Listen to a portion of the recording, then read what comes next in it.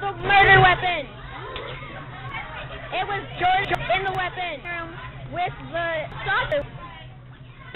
Hide. I'm not and you know it. Uh, hide your face from me. I'm not murder You- in your sleep. That's reasonable. I'm murdering people.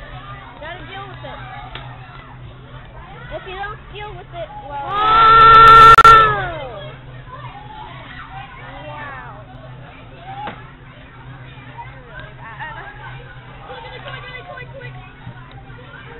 Um. um, um